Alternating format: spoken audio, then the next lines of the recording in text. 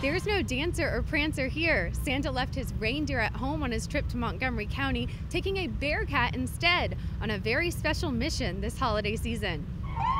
It's not something you see every day an armored police tactical vehicle driving through the streets of Montgomery County.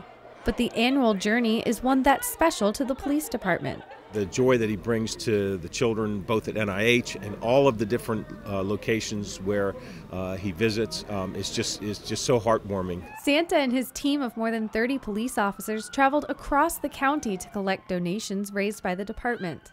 We have a lot of responsibilities with escorts and with different uh, responsibilities throughout the year, but this truly has got to be the most rewarding uh, thing that we do. During the day long journey, the team was treated to lunch along the way. It warms that belly up. It takes a lot to warm this big old belly up. it's, it's just a nice sight. They're coming, they're coming uh, um, into the parking lot here with all the lights on and everything. When Santa Claus came to us and said, "Would you like to be ours?" I said, "Absolutely. It sounds like a, a, a great, you know, it's for a great cause. Sounds like a, it'll be a great day." But the meaning behind the day came when they reached their destination delivering presents to children whose families are residents at the Children's Inn at NIH.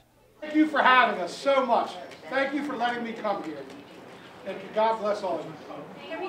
For the policeman behind the beard, the event is about giving back and so much more. When I see those kids with the kind of illnesses they have and knowing that they that they don't know, they just you know they have tough lives, and some of them won't have long lives. And if we can just bring them a little bit of of um, sunshine on one day or ease the burden of their parents or their brothers and sisters for just one day.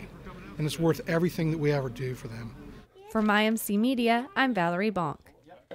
All right, here we go. All the way across.